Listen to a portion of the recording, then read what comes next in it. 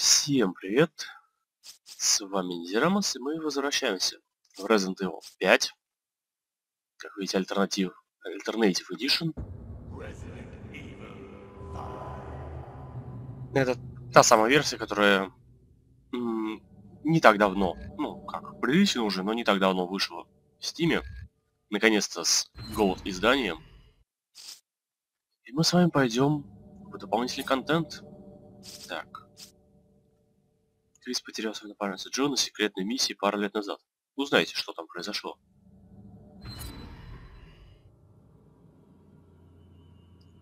Затерянные в кошмарах. Да, русской озвучки э, официальной на вот эти дополнения нет, поэтому будет оригинальная озвучка. Но субтитры вроде должны быть. Одиночная игра.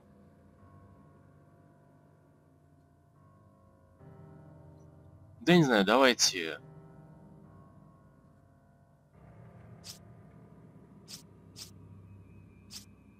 Давайте на этой.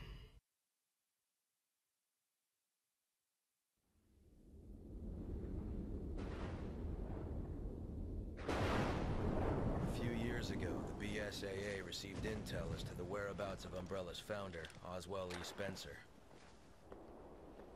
Jill and I were ordered by the BSAA's European headquarters to apprehend him. We accepted that mission in the hopes of uncovering some info that would lead us to Wesker.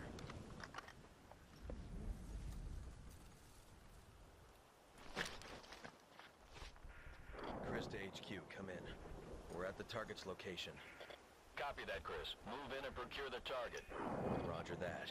What can you tell us about the area? The satellite scan isn't showing anything out of the ordinary, but regardless, you should expect the unexpected. Understood.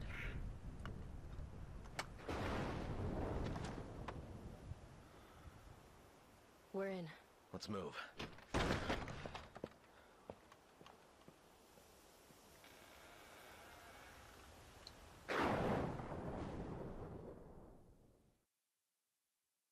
Особнячок.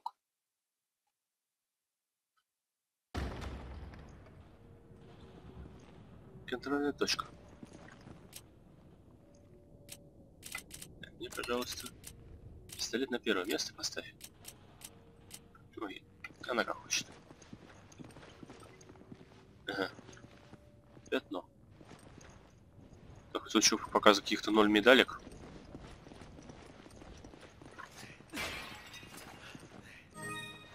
А, это, видимо, мои очки будут за прохождение. А ну да. Опа, рычаг. Тут не пройти. Надо найти способ открыть. Знаете, давайте пока не будем трогать рычаг. Я хочу посмотреться в этом здании повнимательнее. А я не знаю, как тут будет все происходить. Лестницы не пройти. Что эти есть? Да, в общем, я не знаю, как тут все будет происходить, как, будет ли какая-то очевидная локация. Здорово. Eagle 6 to Nest. Do you read? We read you, Eagle 6. Go ahead. We found some men down. Judging by their wounds, it looks like they were physically assaulted. I figure they're probably Spencer's security. Lord only knows what killed them. Roger that. Knew this mission wouldn't be a cakewalk. Use extreme caution. Сколько народу. Народ, кто? Эм. Видите, я его ногу подвинул. Что мне не хочется пока туда идти, знаете. Давайте-ка я посмотрю здесь. Почему-то не открывается. Странно. Окей. Направимся. Тогда далее. А, стоп, а вот это? Тоже не открывается. Но я надеюсь, я сейчас не приду прямо туда, куда сразу, куда надо. Электронный замок самому. Кажется, надо найти другой путь. Эх, Спенсер, Спенсер, что ж у тебя тут в особняке-то творится? Сломано все. Че, и крови столько, что-то налил. Ну, видимо, нам надо вот этот рычаг по- по- пощекотать. А, логично. Следовало ждать, на самом деле. Кстати, странно. Э, В интерфейсе в правом нижнем углу Крис по-русски написано, Джилл по-английски. Забавно.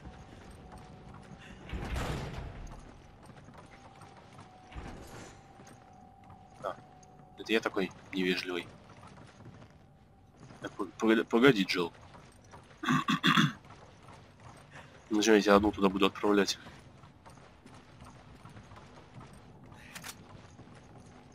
Ты что ли?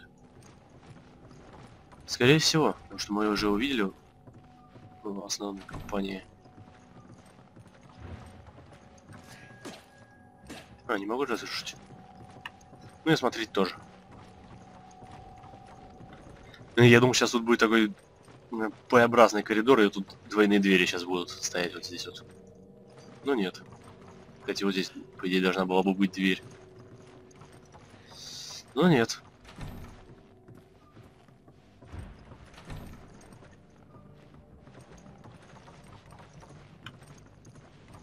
Это что? Похоже на страницы из дневника. Некоторые страницы, про- некоторые записи пропали. 9 мая 1998 года. Сегодня ночью играл в покер со Скоттом, с кем-то из охраны и следователем Стивом. Стиву очень повезло, хотя мне кажется, что, он шулер. Мерзавец. 10 мая 98 -го. Один из начальников поручил мне присмотреть за новым монстром. Он выглядит как горилла без кожи. Скотт сказал мне, что в лаборатории ниже произошел инцидент. Я так и знал, что что-то подобное случится. Эти ублюдки в лаборатории никогда не спят, даже по праздникам. 12 мая 98 -го. Я ношу этот проклятый космический скафандр с вчерашнего дня. Моя кожа становится грязной и чувствуется зуд по всему телу. 16 мая 98 -го. Слышу, что один ученый хотел убежать отсюда и был застрелен этой ночью. Мне горит чешется все тело, я постоянно потею. Я расцарапал опухоль на руке, и кусок гнилой плоти просто отвалился. Что, черт возьми, со мной происходит? 19 мая 98 -го. Лихорадка прошла, но зуд остался. Сегодня голоден и ем собачью еду. 4. Чешется. Вкусно. Между последними страницами выложена какая-то бумажка.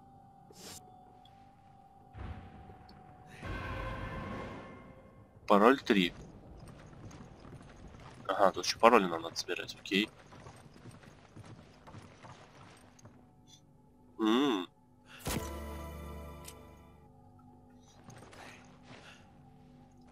Магнут, это неплохо, знаете ли. Так, ну больше, я так полагаю, нам здесь делать нечего.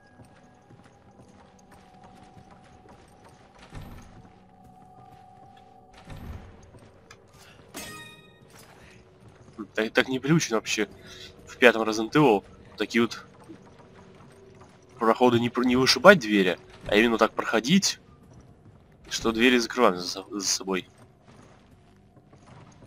Как-то, ну, очень необычно для пятой, для пятой части. Не знаю зачем, но давайте попробуем ее туда отправить. М, кстати, карта. Столовой, говоришь looky here. I found a weapon I can use. А, запертый смотри. А, возможно, что нам сейчас его? To Raccoon City? Unfortunately, yeah. That's where all this started. Hard to believe that was eight years ago.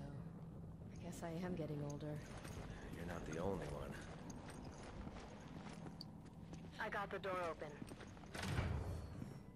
М, прекрасно. Ага, столовая. Действительно. Воспоминания Патрика 1.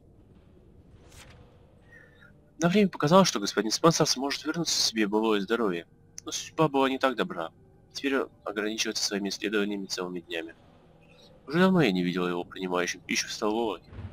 Я старалась приготовить еду так, как любит он, и приносил ее ему в кабинет. К сожалению, он не в силах съесть ничего, кроме супа и других жидких блюд. Я не могу вспомнить время в истории этой семьи, когда ситуация была столь ужасна. В прошлых поколениях имение Спенсера всегда было прибежищем только для самых богатых светских людей Европы. Теперь только основной персонал остается ухаживать за человеком, который держит себя в вир виртуальном уединении в одной из многочисленных резиденций. Моя семья прислуживала семье Спенсеров со со времен его великого деда. Такое быстрое состояние упадка было немыслимо даже одно поколение назад. Я с теплотой вспоминаю годы своей юности, хотя кажется, что это было целую жизнь назад. Это было около 50 лет назад, когда мой отец был главным дворецким семьи. В то время я изучал обязанности, готовясь стать его преемником. И, всегда были поручения, которые вынуждали меня бегать по всему дому. Помню, как лорд Эшфорд, другой аристократ из легендарной семьи, и один из одноклассников господина Спенсера, доктор Маркус, спрятались на этой вилле от летней жары. Мой отец и я присоединились к ним и делали все возможное, чтобы они были довольны. Возможно, потому что я был самым молодым там, они начали подшучивать надо мной. Хотя зачастую они не видели и не относились ко мне как к своему. Я помню время, когда лорд Эшфорд гостил меня своим моим первым бренди. Это было на втором этаже столовой за каменными статуями, закрывающими комнату. И никогда не забуду сладкозвучный аромат, когда он открыл бутылку. Но те прекрасные времена теперь лишь воспоминания. Лорд Эшфорд, доктор Маркус и, конечно, мой отец уже давно мертвы.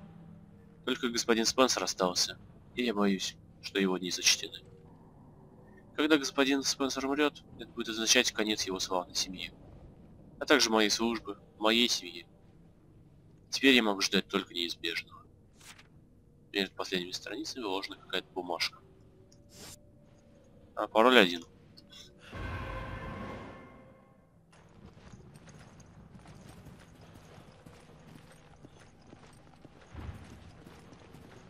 Столовая вроде немного меньше размером, чем была в, Ар в Арклейских горах. Интересно, кто развел огонь? А вот интересно, ведь насколько мы знаем по пятой части, на данный момент Спенсер еще жив. Получается, его дворецкий должен быть тоже жив. А как тогда? А, же снайперская винтовка. В общем, получается, дворецкий либо покинул это здание, либо что с ним случилось. Э. О, я, я ее вообще не видел. Старые дедушкины часы. Да, да, мы же осматривали.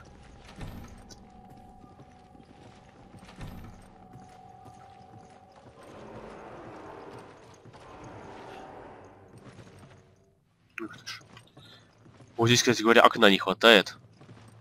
И вот эта часть немножечко. В общем, ну вот с этого ракурса вот отсюда вот вообще похоже. Вот просто вообще похоже. Только вот тут окошка не хватает. А так очень похоже.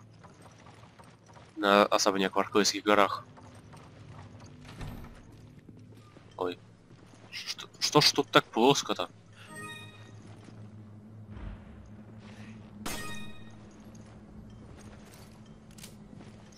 Тридцать патронов в обойме. Неплохие такие пистолетики. Ничего полезного.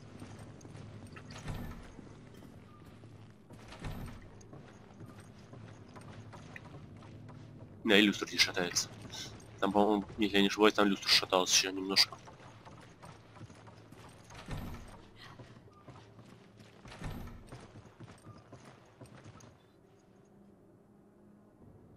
Воспоминания Патрика 2. Я не могу перестать думать об этих заключенных в подвале. В соответствии с инструкциями господина Спенсера, я ввел всем вирус неделю назад. Чем бы они ни стали сейчас, это уже не люди. По воле господина Спенсера я помогал ему в нескольких экспериментах. Не знаю, для чего можно использовать необученного наукам дворецкого, но я должен гордиться тем, что господин доверяет мне важную работу. Я... Но он обычно не испытывает к окружающим ничего, кроме презрения и недоверия. Однако я не могу не чувствовать различий в том, я думаю, что должен чувствовать, и каково мое текущее психологическое состояние. С одной стороны, я доволен, что могу помогать господину в меру своих сил. С другой, я чувствую, будто теряю частичку своей души каждый раз, когда помогаю в экспериментах. Единственный способ сохранить свой разум – это взять отпуск или попытаться избавиться от всех эмоций. Как бы то ни было, я должен действовать и не задавать вопросов господину. Долг и честь – вот что поставлено на карту. Из поколения в поколение моя семья верно служила семье Спенсер. Я не нарушу своих обязательств и буду служить господину Спенсеру до конца. Я посвятил свою жизнь служению ему, и теперь нет пути назад. Пришло время проверить подобных и доложить об их состоянии господину Спенсеру. Я буду исполнять свои обязанности и буду делать это честно. Так, а что там нету этой бумажки? Может бумажка выложена? Нет? Ну ладно, неважно.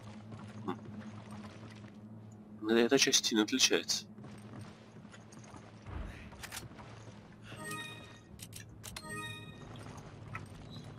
Так, ну дайте угадаю.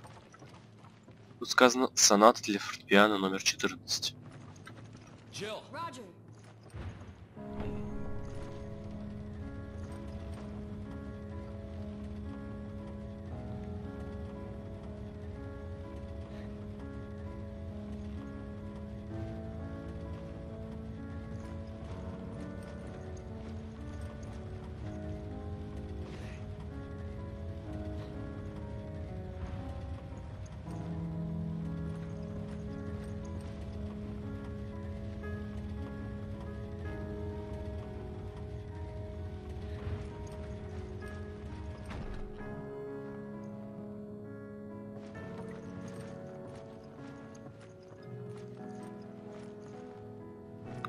Что, мне надо сейчас идти?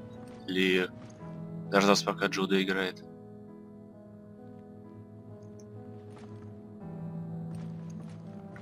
Мне кажется, там ловушка какая-то может быть. Эмблема кентавра. Че, нет?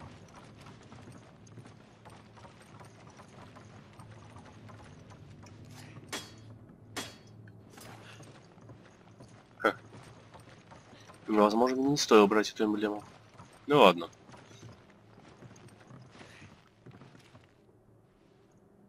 Если что, было бы, кнопку нажал. Скорее всего, ничего. Чувствую, ее даже нельзя было нажать. И скорее даже это не кнопка, а просто индикатор. Так, кстати, а как Джилл спустилась со второго этажа столовой на первый этаж столовой? Где-то лестница есть? Или она просто именно спрыгнула?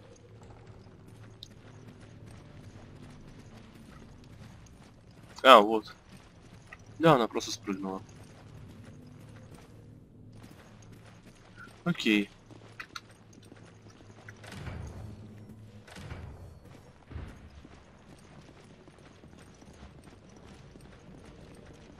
Так, стоп. Это здесь, а... А тут что?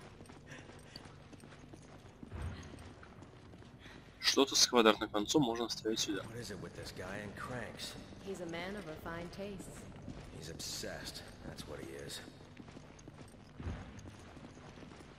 Это комментарий про Спенсера был. Вставлена эмблема кентавра.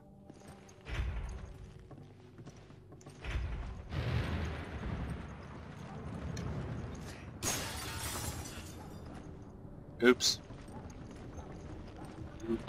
Неожиданно.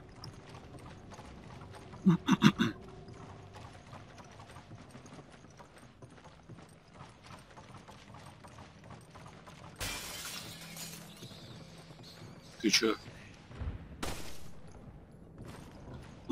Офигеть, туша просто прилетела, разбила окно. Одна маленькая летучая мышка. Я не знаю, что с ней такое не так. Стоп. Дальше проход? Не, давайте-ка я сюда. Заперто. Же могла бы это отпереть. Okay, it's open. Быстро ты. Это что? Это просто разорванная картина.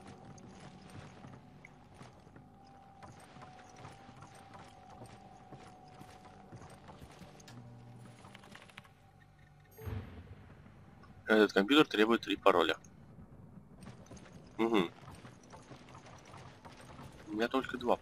Ага, я вот этим компьютером, скорее всего, вот эту штуку открою. Я даже прицел палит, что там что-то есть.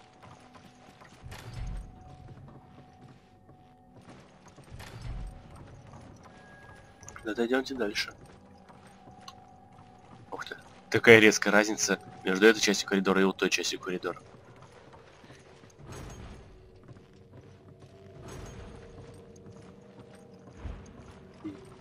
А. Я думаю, что это такое лежит. Я думал, это какой-то один предмет, а это просто кучка гранат. Ну, Джилл я давать гранат не буду. Она все равно им пользоваться не станет.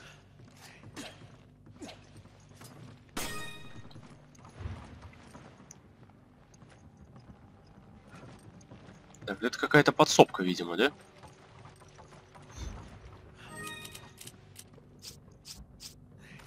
You bailed me out back. Фига себе, у тебя сложная фраза. Типа чувствительная бумага. Ага, ее, наверное, к камину надо отнести. Кто здесь? Да давайте я сбегаю к камину, посмотрю. Я уже потом буду э, дальше идти. Более там кто-то зашумел, да? Да иди нафиг. Странно, пока ни одного настоящего врага не было.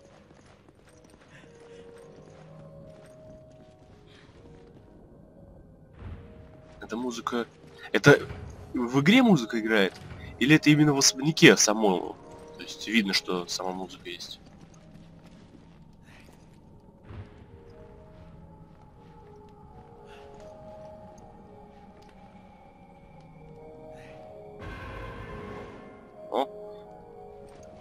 Прекрасно.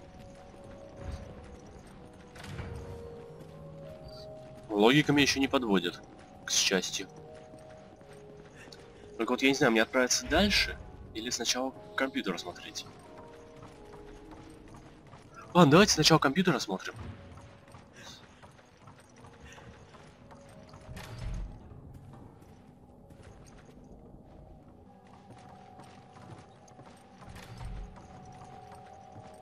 Нас здесь? Воспоминания Патрика 3. Я был в подчинении у господина Спенсера большую часть своей взрослой жизни. Однако в последнее время я считаю его действия непонятными. Например, он принял все возможные меры предосторожности, чтобы скрыть от остального мира свое местонахождение. По какой-то причине я не знаю. И вот однажды он просит меня найти одного человека и сделать так, чтобы он узнал о местонахождении хозяина. Не знаю, почему он пошел таким длинным путем, чтобы связаться с этим человеком. Но, возможно, он хотел посмотреть, найдет ли его кто. В вопросе прозвучало имя Альберт Вескер, имя которого я не слышал уже довольно давно. Я встречался с ним лишь однажды, и это было более десяти лет назад. Мне стыдно признаться, но я не могу вспомнить его лица, потому что, как главного дворецкого, моя обязанность помнить людей. Я думаю, причина в его глазах. Это холодные, бесчувственные глаза, которые затмили его остальные черты. Во всяком случае, я старался, чтобы информация дошла до Вескера, но не упоминая о том, что это желание господина Спенсера. Я знаю одного недобросовестного человека, который может распространить информацию за правильную цену. Он из тех, э, кому плевать, о ком он говорит. Важным его делает то, что он состоит на службе у шпионки, которая регулярно общается с Вескером. Я заплатил этому человеку, его звали Роберто или Рикардо, забыл, больше, чем он заслуживал, и дал ему минимум информации, необходимой для выполнения против господина Спенсера. Я послушно выполнил пожелание господина Спенсера в этом сообщении. Именно в этот момент ситуация стала еще загадочнее. Господин отпустил меня. Я спросил его о причине, единственный раз, когда я спросил его, но он ответил лишь молчание. Я не знаю, что теперь делать. Чувство потери переполняет меня. Всего, что я когда-то знал, больше нет. Я посвятил всю жизнь служению семье Спенсеров, и теперь книга была захлопнута безо всяких причин.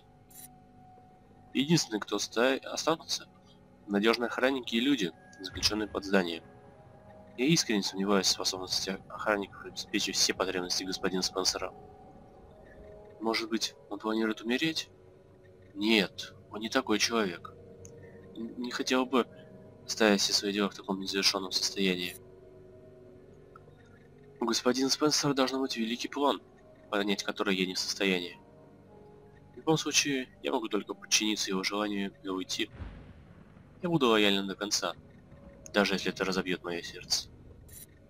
Еще один файл, похоже на список испытуемых. Испытуемые. Ганс, Фелиция, Марко, Иона, Ирма, Кен, Лара, Уильям, Хиро, Дерек, Майлз, Алекс, Альберт. Число кандидатов, перечисленных выше, было уменьшено до 13. Опаньки. Контрольная точка.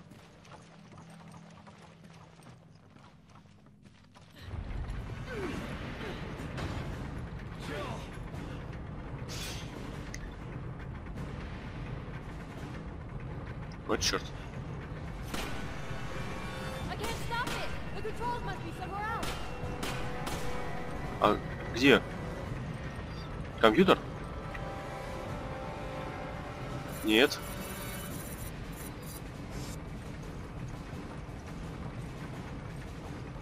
Черт. А подождите, там документ есть какой-то? Ну... Так, еще один документ. Где? А, Снаружи. Вот там вот. В конце коридора. Черт, я, скорее всего, опоздал. Да, скорее всего, в конце коридора там будет рычаг на стене.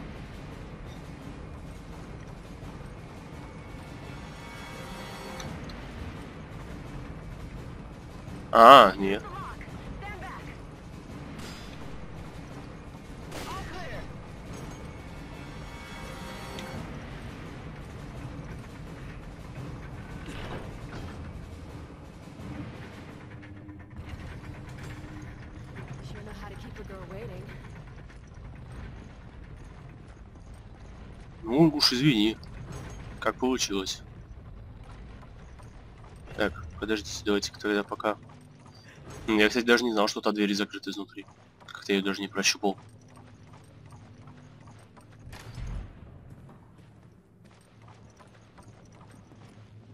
Ага, а медальки-то и нет. Такая штука. даже.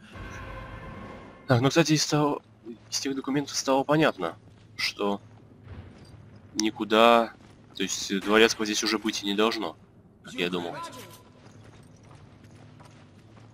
Я почему-то ожидал, что спонсор, этот э, дворецкий должен быть здесь, но спонсор, получается, его прогнал. Ну, грубо говоря. Прочти документ. Воспоминания Спенсера 1. А, ну да. Я, Озвол Спенсер, основатель Umbrella и ее директор, в настоящем провозглашаю себя богом всего человечества. Все должны преклоняться предо мной, как когда-то преклонялись перед своими фальшивыми бо- богами. В таком случае, такова должна быть моя судьба. Но я не стал богом. Я не могу избавиться от своей человеческой слабости. Вместо этого мое тело умирает из-за этой чертовой болезни – старения. Оно изрезало морщинами мое лицо, как стены каньона. А мои руки похожи на тонкие засохшие ветки мертвого дерева. Старость лишила меня даже возможности самостоятельно передвигаться. Единственный шанс стать богом и, и ве- вершить судьбы людей – это остановить эту болезнь, продолжение разрушения моего тела. Есть поговорка, что радости жизни познаешь на пороге смерти. Такие поговорки для слабаков, которые со- собрались умереть. Они пытаются спрятать свои подвиги за красивыми афоризмами. Смертные не могут понять, что значит жизнь для тех, кого смерть не касается. Невежественно любит а, обобщать, и- а- обобщать тех, кто не разделяет его мнение. Я уничтожу это несправедливое заблуждение, сделанное со мной временем, и представлю себя совершенным существом, которое будет господствовать над всем человечеством. Я дам им новые заповеди, чтобы управлять их жизнями. Все, что теперь осталось, это найти ключ к бессмертию. Вирус, произведенный Амбреллой, это ключ. Он останавливает сокращение... останавливает сокращение теломер из-за чего подавляется функция, отвечающая за предел деления клеток. Где-то в этом процессе есть ключ к бессмертию. Если этот процесс усовершенствовать, этот ключ будет моим. Я располагаю все мне необходимыми средствами. Я могу осуществить желаемое благодаря Алекс. Я потерял многих людей после банкротства Амбрелла.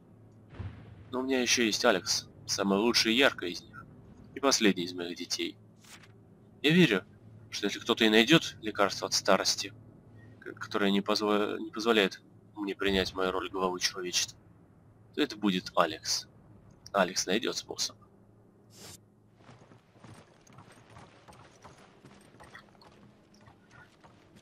Воспоминания Спенсера 2. Я сделал все, о чем Алекс меня попросил. Изобретательность Алекс превосходит уровень обычных людей. Нужно подходящего момента, собираем необходимые материалы, Алекс продолжает держать под контролем операцию. Большинство детей сдерживал в пределах интеллекта, но только не Алекс. Никогда не видел того, никого, кто так ловко впитывает таланты других людей, просто наблюдая за ними. Я был очень рад. Алекс превосходит других во всем. Я обеспечил Алекс всем, а также других ученых для проведения исследований. Неограниченное финансирование, самое лучшее оборудование, материал для исследований, бесконечный запас, запас подопытных. Единственное, чего не хватает – времени. Они будут проводить свои исследования на изолированном острове в Южных морях, на заброшенной военной базе близлежащей страны. Алекс уже отправился туда с группой исследователей, материалами для исследований и сотнями подопытных. Я очень ждал хороших новостей об их исследовании. Вместо этого через месяц мне позвонили с просьбой послать еще подопытных. Как можно израсходовать сотни подопытных всего за месяц? Когда я начал нервничать, Алекс попытался успокоить меня. Вы будете рады услышать, что все эксперименты проходят гладко. Поэтому я продолжаю ждать. Вспоминания Спенсера 3. Я все ждал и ждал, но до сих пор не слова с острова. Уже год прошел, как они уехали. Я отправлял сотни и сотни подопытных для исследований. Как только Алекс улучшит вирус, группа ученых ведет его другой группе подопытных. К сожалению, у них нет времени изучать вирус до тестирования. Если это возможно, они продолжат тестирование и понаблюдать за реакцией подопытных. Думаю, всего этого следовало ждать. Это не вина Алекс. Я стал нетерпеливым. Правда, но ситуация ужасна. Время не только истощило это никчемное тело, но и атаковало мои внутренние органы сделав многие из них практически бесполезными. Те, которые еще функционируют, делают это благодаря приборам, подключенным к моему телу. Время – злейший враг. Я рассчитываю на тебя, Алекс. Только ты можешь дать мне ключ к вечной жизни. Воспоминания Спенсера 4 Наконец-то! Отчет о результатах. Эксперимент прошел удачно. Эти новости дали мне новый прилив сил. Чувствую себя помолодевшим. Ужин вчера вечером был еще... был даже вкуснее. Вино еще прекраснее. Мой дворецкий, Патрик, настоящий кулинарный гений. К сожалению, эта радость была недолгой. Алекс исчезла. Я был бы менее беспокоен, если бы это была единственная плохая новость с острова. Другие ученые тоже исчезли, как и сотни подопытных. Самое главное, все материалы исследований вместе с финальным вирусом, который сделал бы меня богом, невозможно найти. Меня предали. Я снова позволил себя предать. Должен был научиться на своих ошибках с Альбертом. Сейчас моя жизнь на волоске от смерти. Единственному, кому я могу доверять, моему верному дворецкому Патрику. Он моя последняя надежда найти вирус, который вылечит меня от, от этой мерзкой болезни. Но разве время на моей стороне? Этот вопрос беспокоит меня. И только Бог, которым я стану, может ответить на этот вопрос.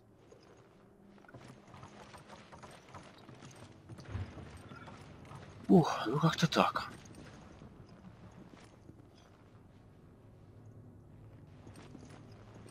Давайте на этом моменте мы с вами закончим данную серию. Продолжим уже в следующих. Сейчас я благодарю всех за внимание. Оставляйте свои комментарии. До новых встреч в следующих сериях.